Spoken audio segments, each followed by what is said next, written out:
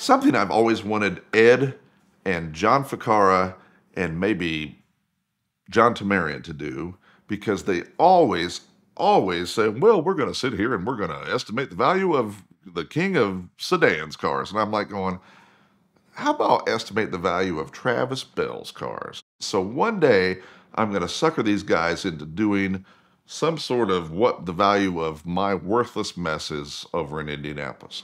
If you'd watched the story, earlier this year I acquired the Ferrari pickup truck. And I had gone down a path of where I thought that the car was built and purchased and done anything. But when my story came out here on VinWiki, they were like, no, you are completely wrong, Travis. There was not a guy who had a stroke in his dojo or nothing. All of that was fiction. And these are the things that you find on VinWiki, not only on the app, but sitting here in the chair. The Ferrari pickup truck is going through a restoration process. That is this year's project. And it was all hand built and custom built. And it was built, like we said, with real Ferrari parts. And to find a set, thank you, Sam Hard, of Ferrari turn signals and the lower fog light signals have been probably one of the worst jobs I've had this year. But we have secured them. And with the world of 3D printing, now we are 3D printing the buckets in which they fit in.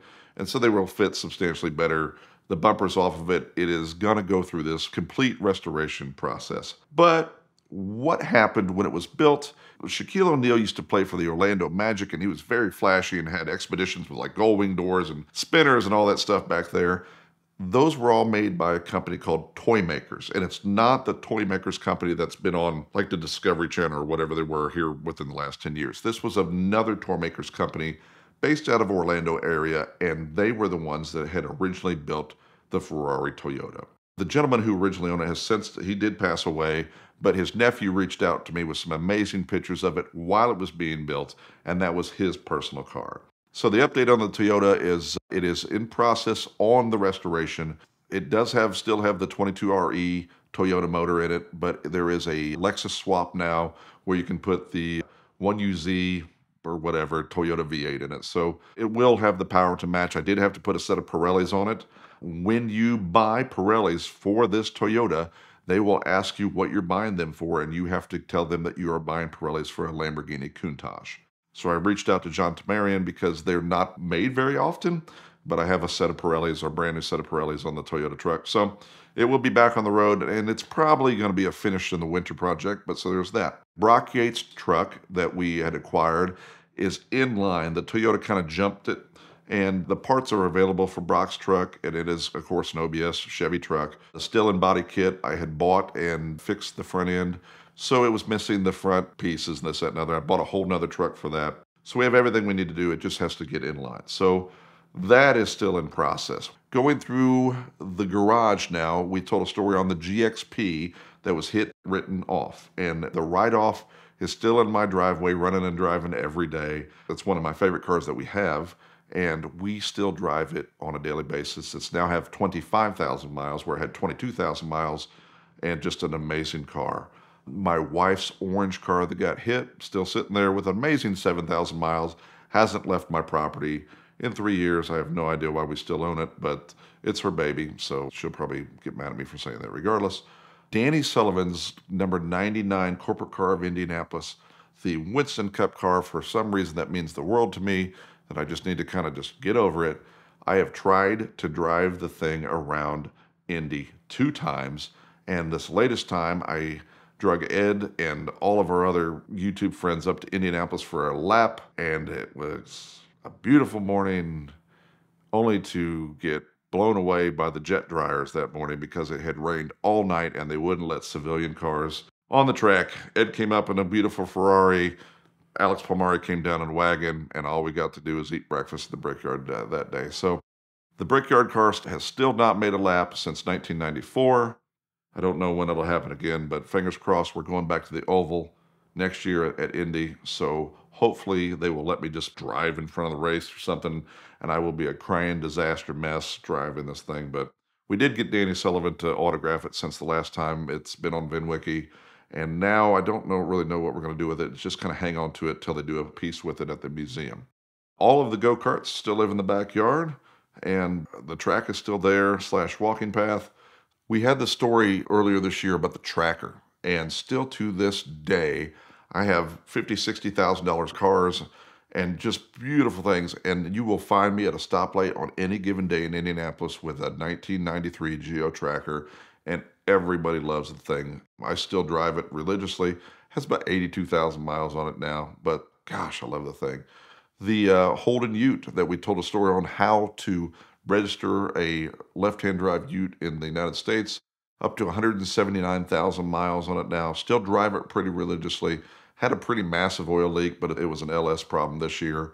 Fixed that, and I haven't driven it really anywhere lately other than my backyard to hang out with a whole bunch of other Holden Utes.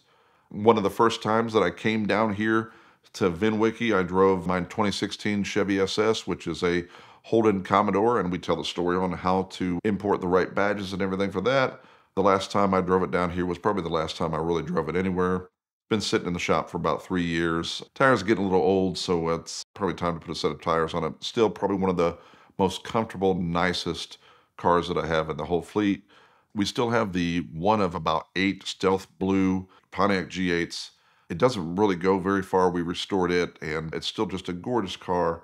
I don't know what the future holds for that one. I don't think we'll ever let that one go. The ambulance. This year was a big year for the ambulance. Uh, what do you do when you've done it all, they say you cannonball. Ed, myself, and Matt Begley drove it in the Southern Classic, which was a competitive cannonball event.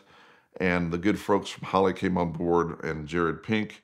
And lo and behold, it went the 1,476 miles that it had to go. It didn't have 1,478 left in it, but that's all it needed to do. We had an incredible time for the years and years and years of me telling Ed, hey, let's do this. Hey, let's do this. I've left him without a ride about three times in multiple cities, and this time it finally made it. It made it back up to Indianapolis uh, with a little bit of a misfire, fixed it, put the oil in the right spot this time, and it ran and drove this weekend. So it is good to go. It may end up at MoParty again this year with Holley. I'm not real sure what the plans are, but of course, that is a forever car unless there's someone out there who has uh, deep, deep pockets and, and would love to have an ambulance in their life. Super truck still runs, snowplow truck still runs. So, owning all these cars, I decided to build myself a four car garage that turned into an eight car garage. And you get people like looking in our backyard all the time, have no idea what we do back there, but we're just gearheads and we have a good time. So, hopefully, if I'm lucky enough after telling this story, that Ed will call me and say, Travis, it's now time to give an estimated value of your fleet.